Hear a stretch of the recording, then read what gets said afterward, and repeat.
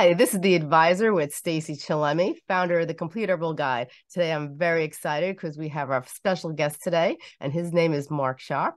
He is a psychologist and he talk he helps people with relationships. But before we go into our little conversation with Mark, I just want to talk really briefly about a sponsor for that is sponsoring our uh, podcast today. It is Resync, and they have some great products out right now, and one of them is Resync Recovery. Resync Recovery supports blood flow and circulation. It's the number one nitric oxide booster taken by professional athletes. It helps address inflammation and positively impacts the inflammatory markers. And it also helps you recover energy.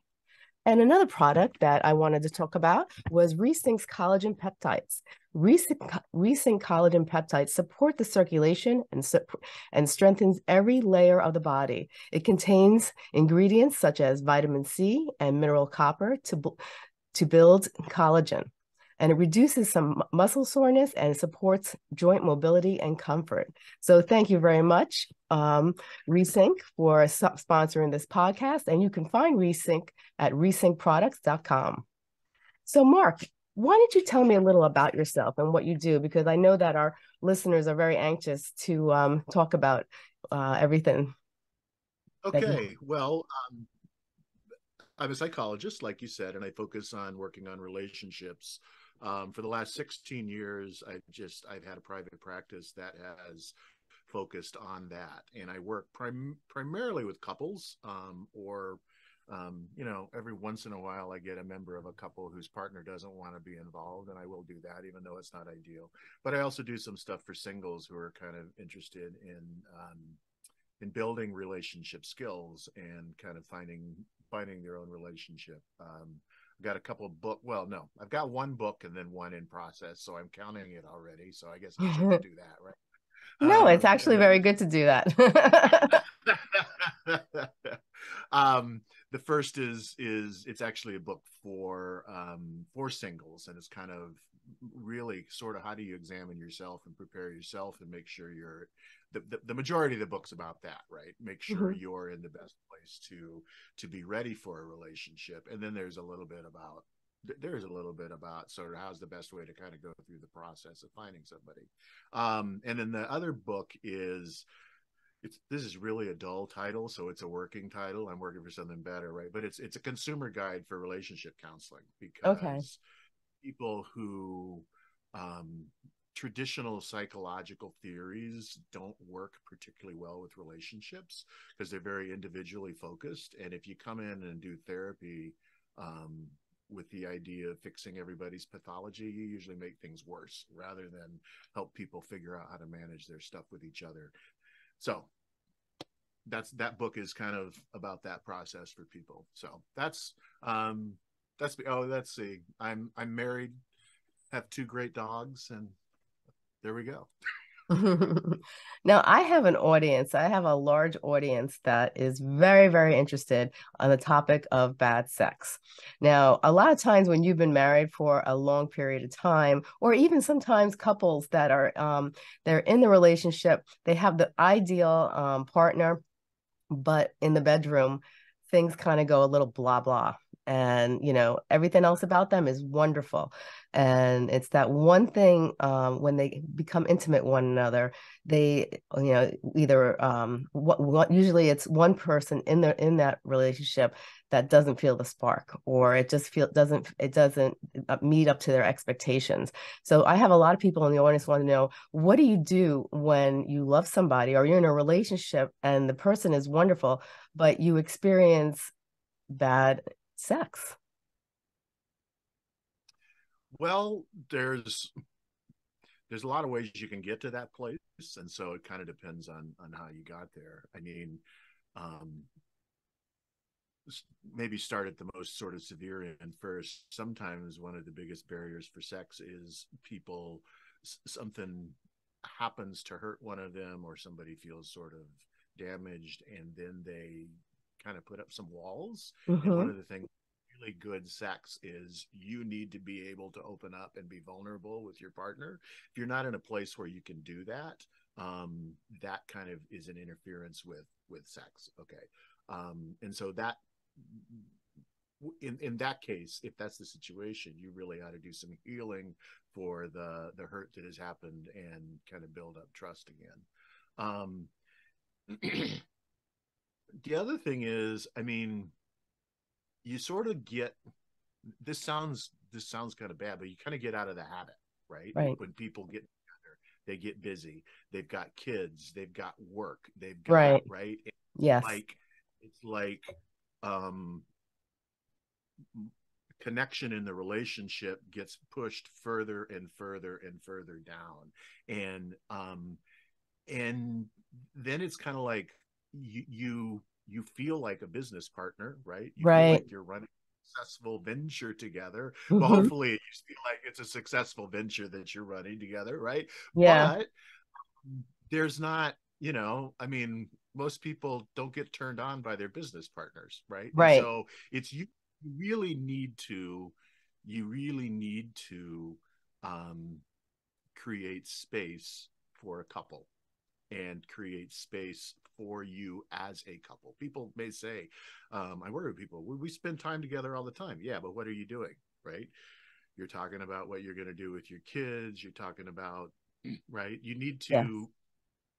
Um and so people talk about the spark right? So there is the spark. You can you can try stuff. You can try new things sexually. You can be experimental. You can you can do all that. But i think you need to really also expand that spark beyond just thinking about even the erotic right. but it's like right? Talk about talk about other stuff that's interesting right? You know yeah. you have ideas think about stuff. Make your make yourself a bigger person than just this small world that we've created for each other and that that kind of helps with with keeping that as well. Now um I, I don't know if i'm talking too much on this one no not at all because this is like a big topic it's also important to be able to talk about right. sex people get uncomfortable i mean it's interesting right a lot of times when people come in for couples therapy, the code word is, well, we have intimacy problems. right? I'm like, so do you have intimacy problems or do you have problems with sex? Ah, right. sex. yeah. Right. Um, because the, like it, it, it's sort of out there and smacks you in the face and people are uncomfortable with that. But intimacy is much bigger than that. Right. Right. I mean, intimacy is affection that you do that's non-sexual it's about emotional sharing with each other it's about all that other stuff and our society doesn't always we're, we're, a little bit crazy about sex sometimes right? We i agree. these good bad and you need to be able to to talk directly. And so share what you want talk about um, what's good. I mean oftentimes um, it's you know if you if you back up and say let's instead of let's have sex because that which is another thing i'll talk about in just a second right it becomes very serious for people right right let's back up a little let's schedule some time and let's play and have fun right, right? it should be something that's enjoyable um so you shut me up when I go too long, right? Uh, um, no, you're good. The other, I mean, because because another piece that often happens is it does become serious, and people have very um, kind of rigid ideas about what sex is, and yeah. as couples get, I don't know what the age group of your right but as couples get older sometimes men find it's harder to have an erection and that's a big problem um, also yeah and, and, that's natural right and then it's right. like well they get nervous I mean, you have a little bit of trouble. Everybody has some trouble sometimes, and then you get anxious about it, and then you have a lot of trouble. Right. But a lot of people, a lot of people define sex as intercourse. Mm-hmm. Right. right. And um, there is a whole lot more you can add to your sexual repertoire besides intercourse. Right. And if you want to get pregnant, you need to have intercourse. Right. Okay. Most mm-hmm. people aren't want I, that's not the goal of most sex it is a goal in some. Right. Um, but the connects people and keeps you together. And so it's useful to sort of expand that and play around with with all sorts of other things. And um there I'll, I'll I'll stop with that for now on my sort of sex soap soapbox. well, no, that actually, you know, I I thought it was really funny how you know, first of all, you made some really good pointers. First, you talked about communication is key you know and then you talked about how it's you know that people you know people kind of get kind of they look at the media and they look at tv and they they see you know you read 50 shades of gray and people get this this looted you know version of what sex really is and what what what you know what what happens behind closed doors.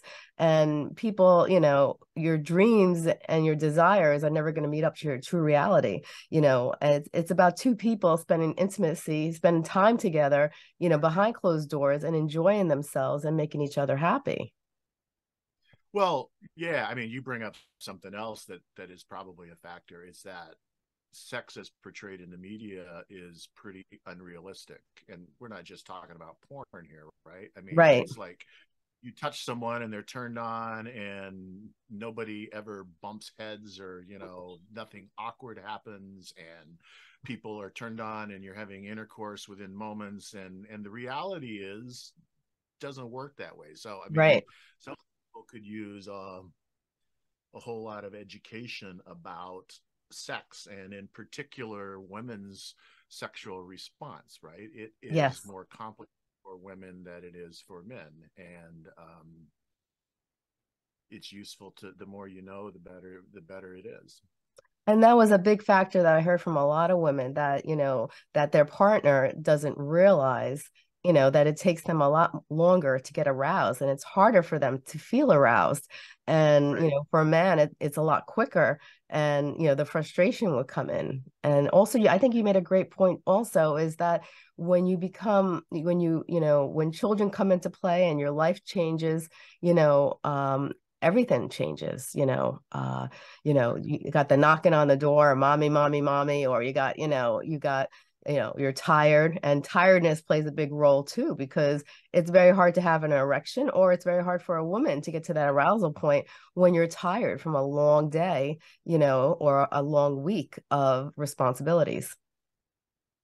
Yeah and and i think that even plays into something else particularly when people get busy is you know early on in relationships sex is usually very spontaneous. Right. Or you, you think it people say it's spontaneous but the reality is when a couple first starts dating and having sex if they're not living together yeah. it's not spontaneous. They have sex whenever they're getting together. It's yes. they think it's spontaneous but it's not really. It yeah. happens. We have a date of sex. It's part of it you know? Um but then even early in relationships when people start living together but then when you have kids that i mean kids is the thing that changes it the the most for people in my yeah. experience, right? When they um, people tell the story of how they feel like their sex life died, that's oftentimes the aspect of it that that that, that seems prominent, right? And so you need to schedule it sometimes. I mean, you need to consciously say we're creating space, we're creating time when we can be when we can be sexual with each other, when we can get naked and play and not worry about scarring our children for life. I'm not sure it scars your children for life.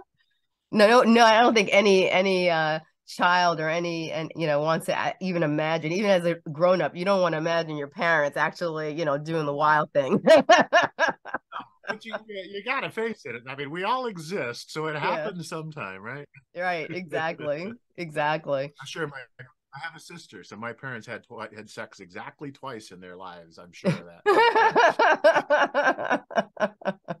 So I think it's probably good to have a little me time or a date night or, you know, go maybe having a short vacation. It doesn't have to be anywhere expensive, just somewhere maybe where you can get away for a day or two or a weekend. And, you know, if you're able to, you know, and and spend some alone time or maybe, you know, the grandparents or somebody takes care of the kids that one night, you know. That that's true. Yeah, the date night, the that you need to create the space. I guess another thing that can really help is um, is to focus on keeping the the passion alive even when you can't be passionate right? Right. and so there's there's people when it's like um unless you're in a place where you can have sex don't kiss me that way right? Right. Well why not right? I mean there's a i don't remember the guy's name. It was a sex therapist out of new, new york who calls it simmering right? Yeah. So you know why don't you do a nice passionate kiss as you're on the way out the door going to work right? Right. it it, it so you you get a little bit you're a little disappointed well that kind of keeps things a little bit hot yeah. right? no it does. So it, it's like um and, and don't worry about it. You're supposed to embarrass your kids with those things right? You're actually modeling you know ooh gross that but, but you're then, actually mo- modeling the way you ought to be in a relationship for them. So i yeah, agree. gross them appreciate it later. Yeah exactly. I you know i've known couples that you know have said they've never seen their parents kiss and then they had trouble expressing emotion because they never saw it in their household you know because it was kept so confined. If you know if they did even have you know romantic intimacy you know they never saw it. So then it you know when they grew up they didn't know how to express themselves because they had like you said they had no role model. Right. And that's a it's a good thing to teach our kids even if it makes them uncomfortable. Right I think you know, um, it, yeah, a big thing is that you know a lot of times I think um, women, you know, some women. It depends on the person because some women like the romance, some women, you know, like to get down and dirty. So you know, everyone has their own preference, but I think it's it's understanding your partner and respecting what they want that plays a big role. Is that, like you said, it goes back to communication, what that partner likes and dislikes, and then being respectful and honoring that. Right. And maybe be uh be open to being experimental sometime. If you like exactly. romance, dirty sometime, or if you like it down and dirty, let's plan a romantic evening. I mean, there's there's a whole there's a whole menu out there. You don't have to just just eat one thing.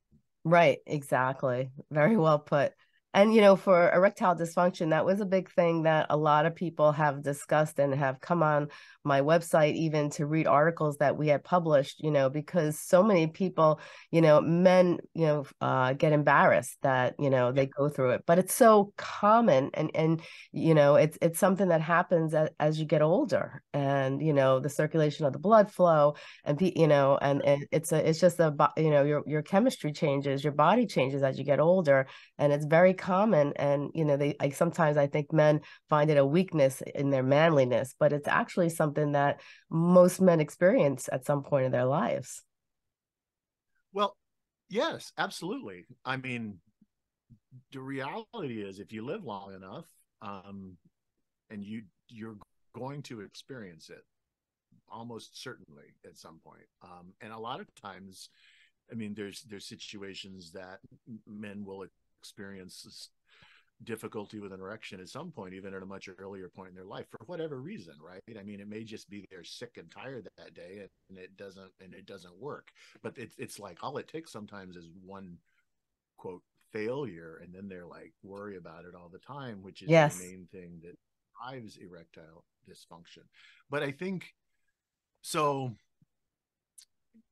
you know when we were talking about women's sexual response i mean you know there is a good portion of women who physiologically can't have an orgasm from intercourse. Yes that is a big problem. so, i mean wouldn't it be nice if the um, sexual sign of manhood was more your ability to be able to explore sex other ways rather than have an erection because the erection doesn't do that much i mean right. I, I, think women appreciate that and but it's it's not the thing that that most easily creates a um an orgasm or the the ultimate sexual experience even for those people that it does work for. And so it's like it's unfortunate that um so many men feel like difficulty in that area reflect poorly on their manhood. Yeah, and I, I think that's a, a good point that you brought up is, is that, you know, there, there is more to sex than, than just having an erection and having intercourse. You know, um, you know, sometimes a woman will get frustrated, but they have to realize that, you know, there is much more out there than just that's just a small portion of you know of the intimacy and and the sexual relationship between a partner and they you really have to have a combination of everything you know? And like you said you know people don't realize it but stress you know you take home your work with you and you're stressed or you have a, a, stressful week that could interfere with having an erection. And then you know there are ways i guess that people can learn how to release that stress and then they could actually have an erection and enjoy you know that portion of their sexual relationship with their partner. Right. And if you have a regular sex life that actually helps you manage your stress. What do you think a healthy sex life is? And you know what do you recommend to your partners when it comes to intimacy or sex you know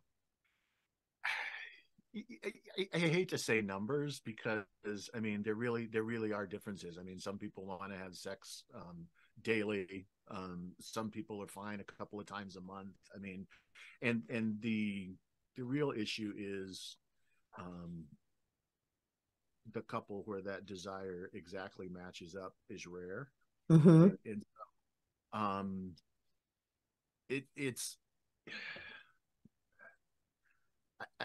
I, I, don't really have a recommendation for numbers. I, I, I don't right. like to get into right, but um,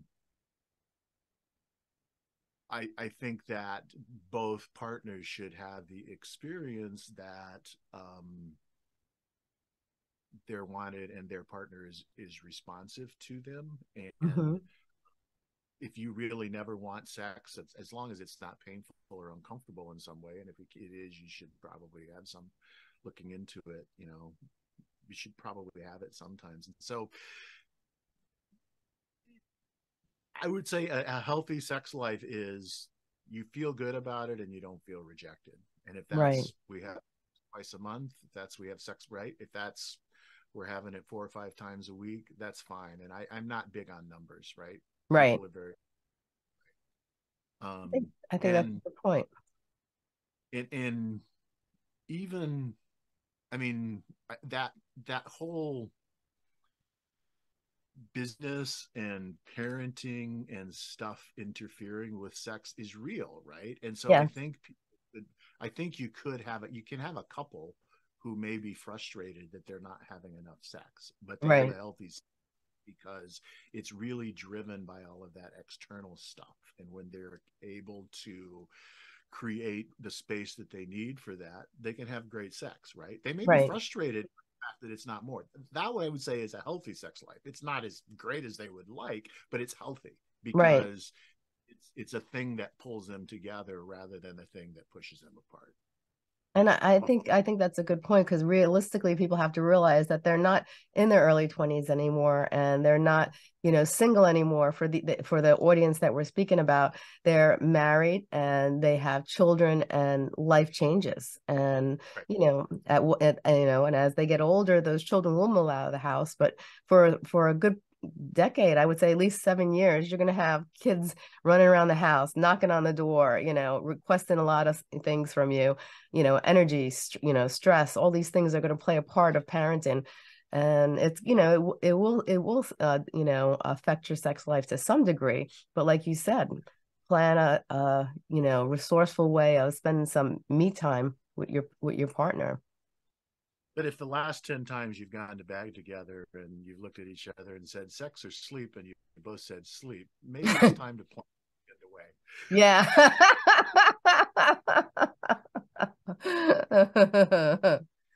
definitely. Definitely.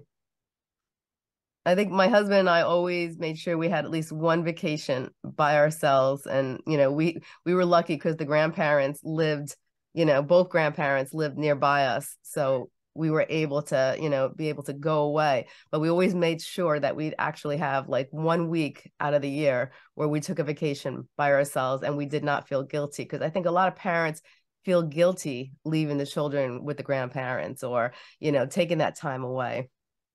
Right. Well and, and it, yeah it, it's nice to have those resources and have grandparents you can do that and most grandparents are like hey do it more right? Yeah mm-hmm. oh think the kids, I mean, it's great to support your kids' relationship with your grandparents too. So, um, not everybody has those resources. So no.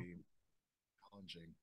I mean, one of the things I always ask couples, particularly with families, like, you know, where's your family who lives around? What's your relationship with them like? Because the social support a couple has or doesn't have makes a lot of difference in a lot of aspects of their life, including their sex life. Right. I agree. And you know, I, I think the one thing people have to realize is they're having problems, they should reach out for help. Because a lot, like you said, a lot of people are embarrassed, you know, about talking about sex. They use the word intimacy, like you mentioned. Right. But you know, I think it's a I think it's a good thing if you can actually reach out and get that help. Well, yeah, and and, and it's I mean, I think the the media can play into that sometimes too, right? It's like people think it's something that you're just supposed to know. Well, how are you just supposed to know? I mean, there's a lot you can learn about sex. There's a right. lot of skills. There's a lot, and so um, that's great. Do that. It's not. It's not something that you know. Something's genetically wrong with you, and your sex program didn't get run. No, it doesn't happen. It's a learned thing for us. We have a sex drive, yes. Yeah actual act of sex and being sexual and having a relationship with another person around that, there's lots you can learn about that. And so that's useful. That's a useful attitude to take into it. Now, what made you so interested to go in this direction to help other couples and to help people with relationships? Good question. I I I'll, I'll, give you my my sense of it right i mean i i've been interested in um relationships for a long time and when i started graduates so first of all i got married late right mm-hmm. i was single most of my life i was 46 when i got married and okay so, and my wife's 43 we had a blast it was like eh, all of our friends at the at the party it's like wow you know the band is awesome this is our music so anyway, okay. Um, yeah, we had a DJ, but um, I, I I guess I had always been interested in in relationships, and uh, perhaps part of it was simply because I, you know, got anxious and struggled in it and so on a lot for myself. And, right. Um, but I also got interested in psychology. I got interested in sort of systems theory, which is more about what happens between people than what happens inside people right? Right. It it, it kind of tickled my intellectual curiosity as well as um, having a personal you know aspect to that. And um, so I, I really started off my career working primarily with families and it was much more child focused and i ran a team at a community mental health center to that. But I, I was interested in couples and developed that more and more. And then when I went in my own practice, I went that direction. And so I don't know if that really answers the question, but yeah, it was. I, it, part of it was a was a um, you know a personal quest, and part of it yeah. was tickled my my intellectual curiosity. Um, I'm I'm very I'm actually really glad I got married late. I think if I had married somebody in my 20s, it would not have been quite the quality relationship that it right. is because I had a lot to learn. But yeah, I admire people who um, who pair up and make a commitment early and then go through some of the struggles and learning together because that works well as well so yeah i actually met my husband in english class i was in college i took a, a yeah. summer course yeah and uh that's where I met my husband. So I've been with him for like about 30 years now. Yeah. So it's definitely a lot to learn, like you said, when you when you get into a relationship at an early age. And I think some people I think go through that midlife crisis as well. When they when they marry so young, some people have regrets that they didn't do this or they didn't do that. But then, you know, do you find that in your in your uh, practice with some people? I don't occasionally I don't find a lot of people expressing that directly. Of course, a lot of people may be feeling that that aren't because they're not wanting to say right, you know, because their partners they're afraid their partner's going to hear. Okay, yeah. particularly satisfied is coming out, and so I think um I think some people feel that way, but I mean, regret's an interesting thing, right? I mean, yeah, you you um what I've told people, um, it was interesting. I had a session just a couple weeks ago with somebody where we really dug into regret, and it's like if you really think about regret, regret is sometimes a defensive posture because you're sad about something that's going on in your life. So then you fantasize about making a different choice and how that would have gone differently. But the right. reality is, we never know what the to- what the outcome is of those different choices, and so no. it's it's good to kind of lean in and dig into the choices that we've made and and and and make the best of them. Right? It's like the old Sheryl Crow song, right? It's it's yeah. It's, not it's not getting what you want it's liking what you got yeah exactly right? and and um i mean I, there's you know everybody has points in their life when you look back and say i wonder how this would have changed if i had made this different choice at that point right right but then mm-hmm. i think if you really get caught up in that it's also useful to look at the things in your life that you're really happy about that probably wouldn't have happened had you made that choice yes always there as well. Nobody ever thinks about those. So. No, and that's an excellent point because we always think about I wish, I wish, I want, I want, you know, and we don't think about what we actually have. And like you said, we wouldn't have had those things if we weren't put in the environment and in the life we uh, currently have. Yeah. That's a very good point. Now, I think a big problem is also that a lot of times couples are afraid to tell the other couple because the other person because they're afraid to hurt their feelings. Yeah. And so how do you go about, you know, telling the other person, well, I'm not really satisfied, you know, I don't feel that spark anymore. I love you, but I just don't feel that that spark like we did, you know. You know, how does a person go about like expressing themselves without hurting the other person you know, and not get into a fight or not making the situation worse? Well, first you have to just accept that sometimes you can't say things without hurting the other person. Right. I mean, people, if you're in a relationship and you care about people, you're going to get hurt. Mm-hmm. And um, it's it's much better to figure out how to do that and how to communicate about things in a respectful way that keeps you connected than it is to avoid hurting each other because it's actually you're right avoiding hurting each other is a lot of what kind of drives the lack of communication or the miscommunication yes. makes things go wrong right and so um one of the the the best things one of the best things that I, I talk to people about is you you really if you're talking about something that you are dissatisfied with, right? You, mm-hmm. you need to personalize it. And people say, well, you also be personal. Well, actually, yeah, you do, right? You make it about me. It's about me, my feelings, and my preferences rather than about this is the right way to do things. That's one way to start it, right? Right. People may get hurt feelings and so on, but if you can lead with it from your um, this is about what I want rather than this is about what you're not doing right. Right. You may be saying almost exactly the same thing.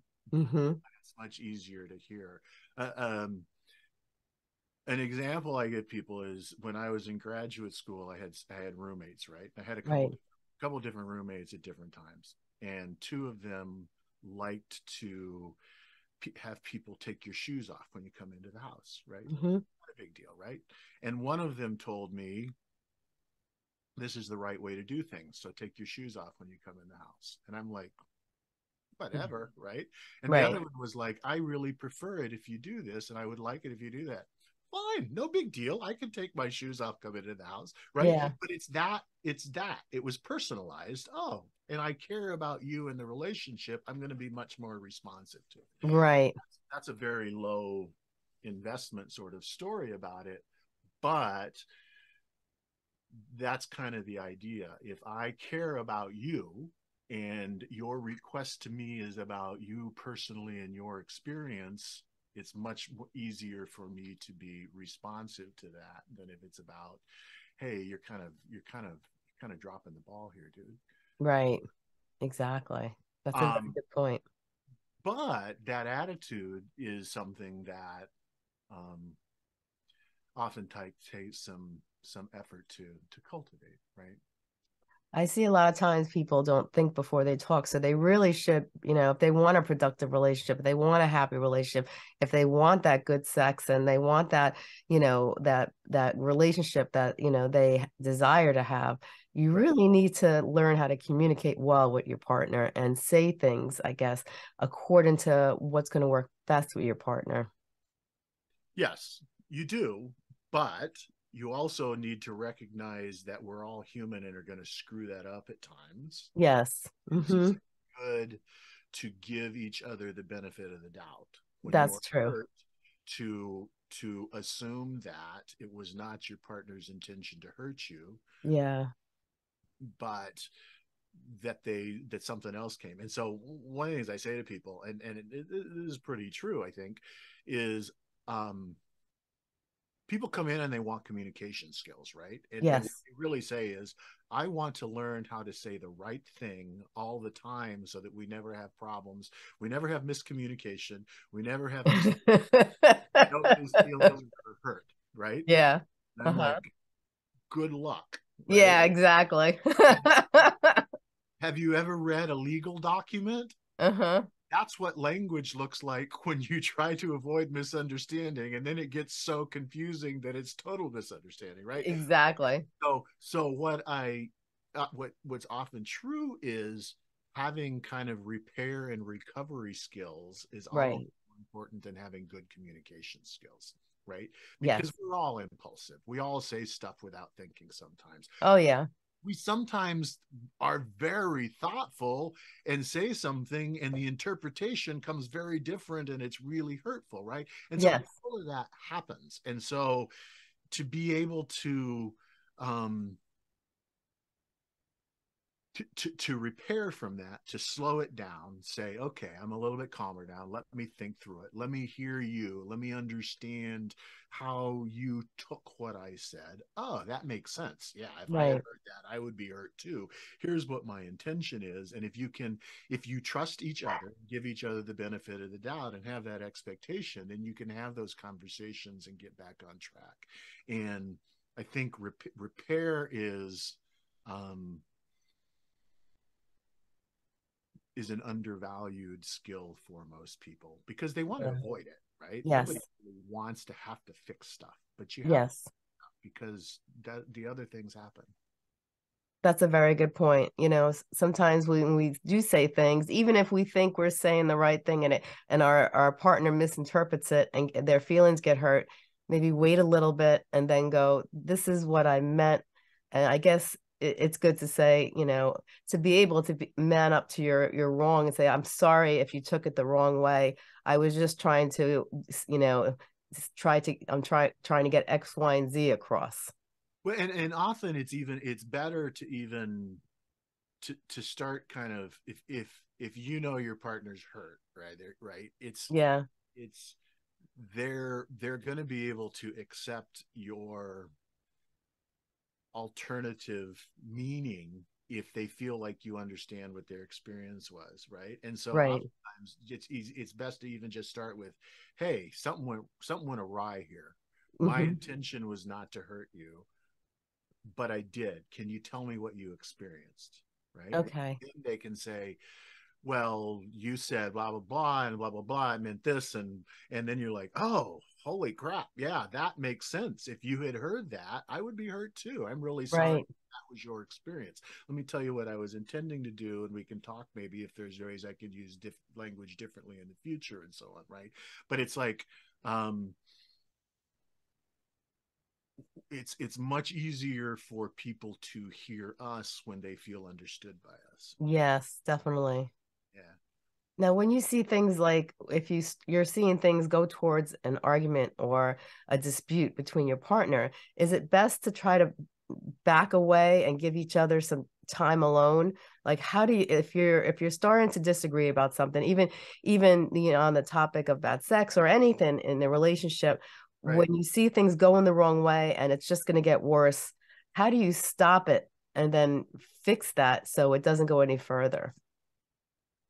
Um, well, it yeah it it's not so much about stop the argument it's like stop the argument escalating. If you're yes. fine you're listening to each other you're hearing each other you're being respectful go for it right? Right. But you really need to monitor i mean it's really about our our nervous system right? Yeah.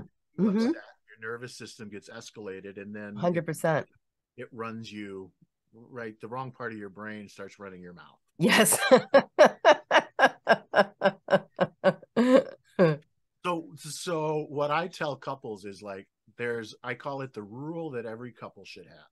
Right. And that is and i say there's a two part rule it's two parts to the rule. And in most couples there's one person that likes the first part and then and the other person likes the second part but, but they get Right. it and so the first part of the rule is you should be able to end a conversation anytime you want. Right.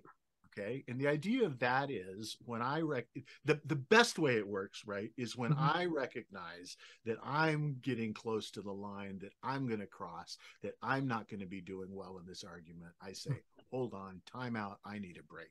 Now you That's can also idea. do it it's it's also perfectly legitimate if you start being if your partner starts attacking you and calling you names and yelling or whatnot to say look let's take a break and do this but it's best if i monitor myself right right get to the point to where you're good enough to monitor it before it crosses that line. Okay, that's part one. Part two is if you end a conversation, it is your responsibility to bring it back up again as Mhm. soon as you are able to have that conversation. right? Very good idea hmm And and it's oftentimes I say I should be able to end a conversation anytime I want, and one person looks at the other. Yeah, see, see, and then I say, "God, if you ended, you have to break it up. The other one goes, yeah, see, see. So That's funny. I Uh, have a, a question for you now. If if a if you know, I've I've had this question asked um you know many times, you know, uh people who have responded to the articles that we've written on the Complete Herbal Guide. And it young couples who find their ultimate partner and they have they have all the characteristics and qualities that they want in a person, but yet when in the bedroom is eh, they don't feel compatible to one another. They're not in one person is not enjoying it, the other person may be, but the other person doesn't feel that spark. Can you fix that, or is that something that probably you probably are best to walk away from? my bias is I think you can fix that most of the time. right? Okay. because sex is a very like i said it's really a skills based learning thing there's Right. learn, right and so if, if um if they just sort of start paying attention to each other can talk directly about it can give feedback about what feels good and so on then the sex piece can work now Yes. there are people who there are sometimes emotional blocks to that as well that's not about the um mechanics of it. Yeah. hmm like and and the reality is some people are some people have much better sex with people they don't care about. Okay. right? Yeah. because when you really care about someone then as you're going in the the the, the stakes are higher. Hmm hmm and um, it's like I, I I worry more about it, so I'm protective, and you're a little bit withdrawn. Then the sex isn't as good, Right. and so if that's the p that could also be a piece of what's happening in that situation that you're talking about, and then that- Right. that person really ought to do some work on figuring out how to how to learn to be vulnerable because it's a it's a fear of being hurt, right? Right. Yes. You I don't care about. You're hot, but man, Yeah. No desire to be in a relationship with you. Right. Awesome. right? Yeah. I Mhm. don't care. I can let myself loose. Doesn't matter. I don't care what you think about me, right? But as Right. soon as it becomes high stakes, it can become much more tense. Right. That makes a lot of sense. That makes a lot of sense because sometimes people think that you get fixated on on their eyes or body part or their smile, and Right. then it's like then they they think you know they think that's you know oh I'm so compatible to that person I want them, and then they they it ha they have you know and they get to know the person they actually like the person. And you know and the but then you know like we were mentioning you know they actually have a, a sexual experience with one another and one doesn't feel that spark that they thought. Maybe their expectations were too high or maybe they're just you know getting caught up again with that media and what the media stigmatizes about relationships. Yeah i'm glad you said that because i was gonna, i was going to say that too right? Because it is not uncommon that first sexual experiences aren't awesome. Right. Mm-hmm. That's right? very true. Because you're awkward there's anxiety about it um you, you don't know each other you don't understand what works for each other. I mean a, a, really good sexual relationship involves two people learning each other and right. that right? Now if you had to give a couple of pointers and a couple of tips to people about how to improve bad sex what would you what would some of you know constructive tips you would give those individuals? Um so one would be get comfortable with talking about what you're experiencing what you want and what feels good and listening to that right mm-hmm. um and i think if you um so so that would be one. And if you if you do that that that opens up the the avenue to do a lot of things right? Right. Um let me give you three right? Okay. be, um don't take it so seriously. Mm-hmm. it's supposed to be fun. Right. And it is difficult for fun and serious to get to go together sometimes. Yes definitely. Right? and, and i mean and the reality is it is serious. It's an important piece of it but it's it's it's kind of serious like kids need to play for their good development is serious right yeah mm-hmm. okay and then the final one would be if, if is that if you find yourself kind of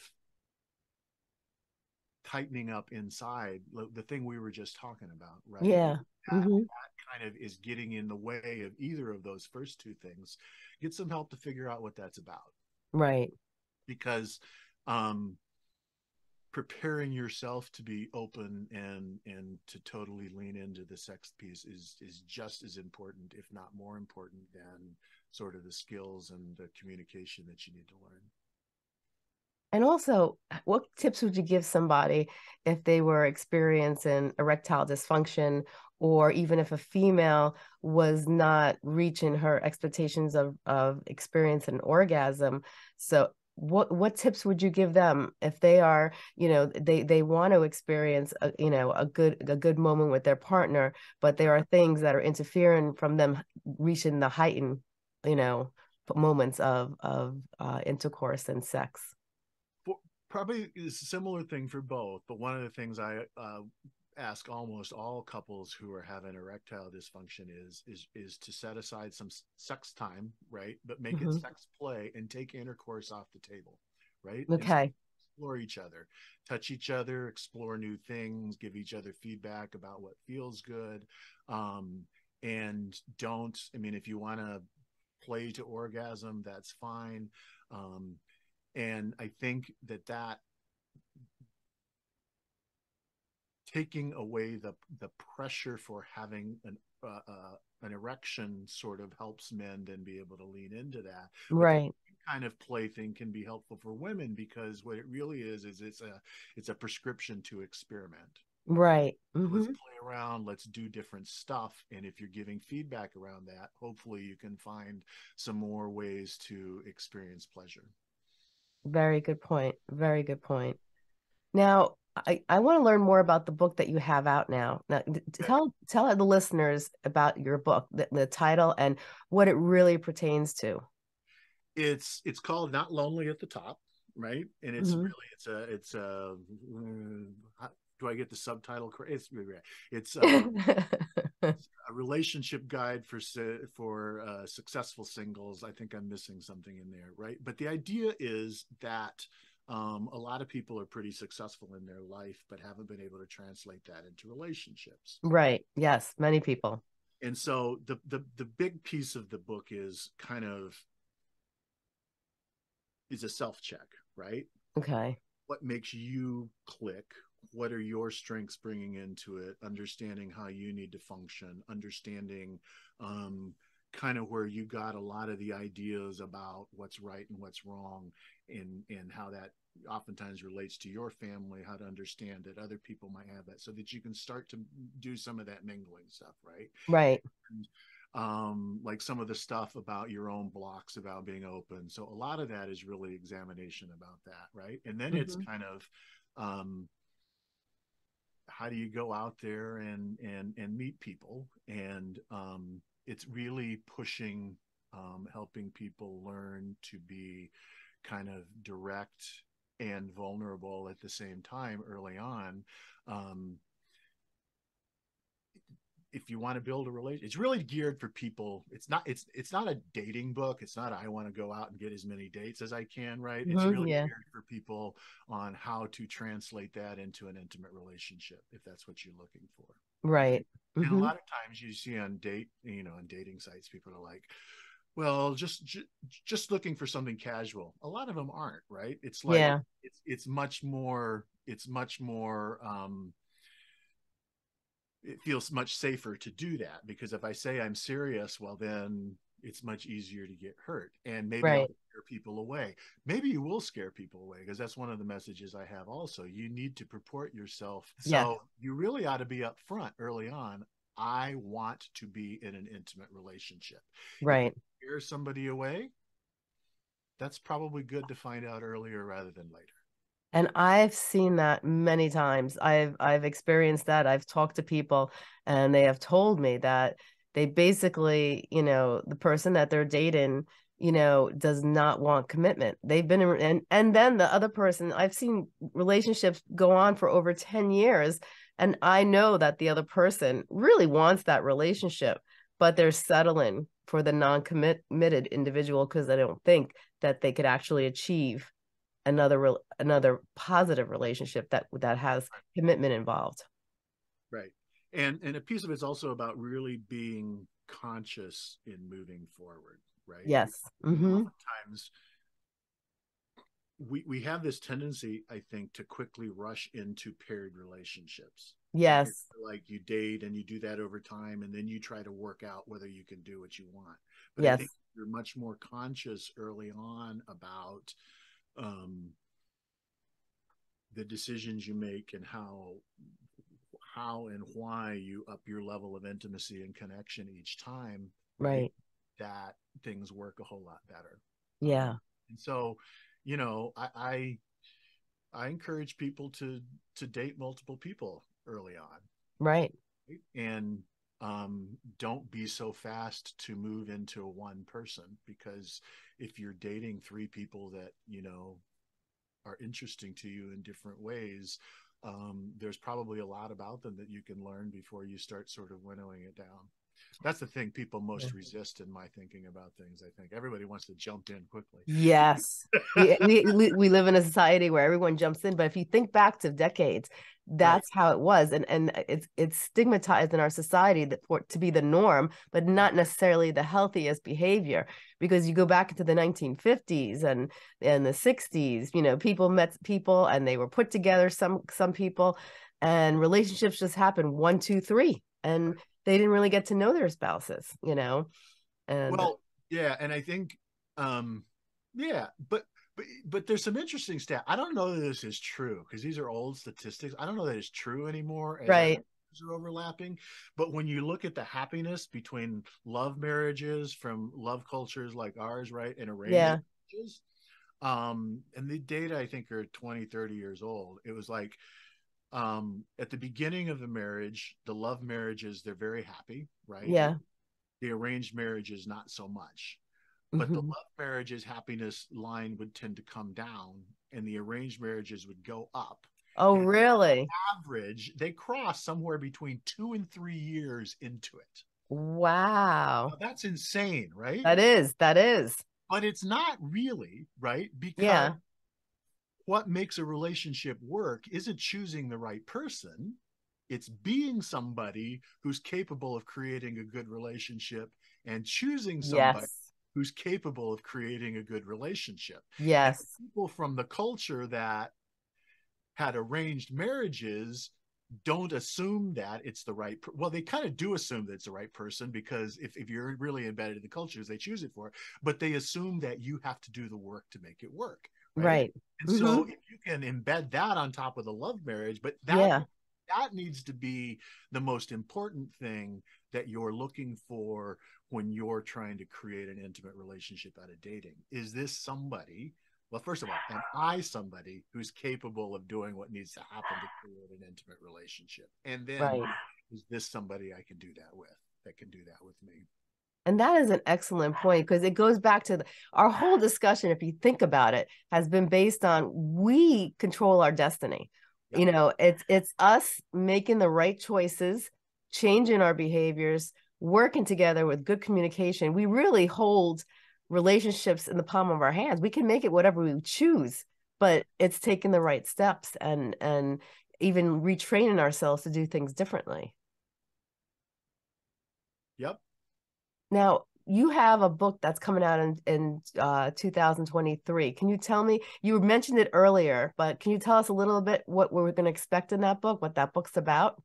that that book's about it's for people who are having trouble in their relationship and they're looking to they're looking to get help right right kind of how do you go about doing that? So it's it's what are the qualities and skills that you look for in a therapist or counselor who's going to be good for a relationship mm-hmm. it talks some about the contrast between thinking relationally and thinking individually and why you need to really get someone who values a relationship.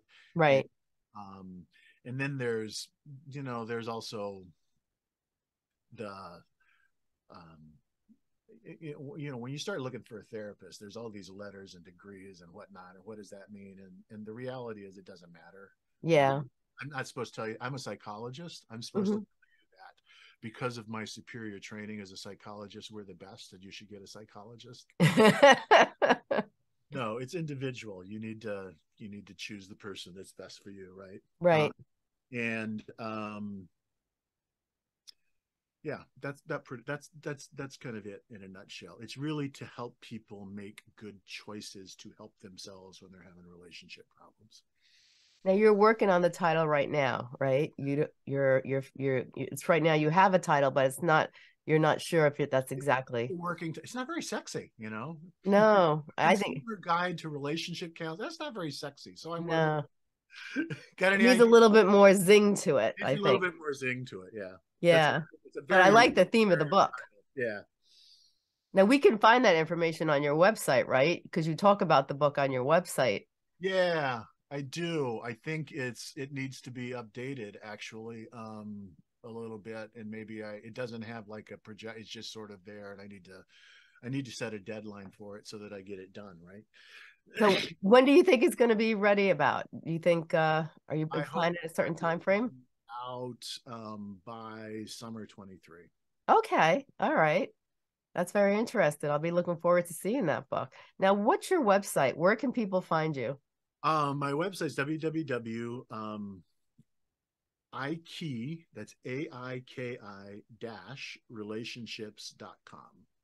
Excellent you know, this has been a pleasure. You have provided so much good information. Now, is there anything else you'd like to tell the audience about yourself or about your website or any any services you provide? Um, I think that's pretty much it. I mean, I, I prim- primarily do um, therapy services. I do both in person and, you know, we started doing a lot of remote stuff over the past couple of years. And I've been pleased to find that that works pretty much as well also um, so, so, if pe- people want to um, schedule a a, um, a, meeting with you or an appointment with you they can go on your website to uh, schedule a um, maybe like my a... website. I like to talk to people. Um, mm-hmm. best thing is to kind of reach out to me and then we'll set up a meeting and talk about whether we're a good fit to work together okay. set up a time to do that. And do you have a blog on your website? I do not. Okay. All right um, I should, but I don't. All right. So your website consists of your services, your books. Services. There's. I do have. It's. It needs to be updated as well. I actually publish a um, um, a print newsletter. Okay. And those there those articles get put up there. They're a little bit behind as well, but you can read like about 10 years worth of articles on that on my website as well. Well, you got to make your blog and put all those articles on your blog. sort of like my blog, but it's not really organized like a blog. but it, your book that's out right now, can we find that on Amazon? Where can we find that your book? Yes, you can find it on Amazon. It is on Amazon. All right, that's great. Now tell everybody once again what your website is so they don't forget it. It's uh, www.aiki, A-I-K-I dash relationships.com. It's been a pleasure speaking with you, Mark. I had such a great time and I think people are going to be very interested in in you know, information because we have so many people who inquire about the topics we just spoke about. Hey, thank you. I really appreciate you having me on. This has been this has been a blast. I had a great time too, and thank you so much for coming on our show. Your thing. I uh, look forward to seeing it get out there. You have a great day. Thanks. You too.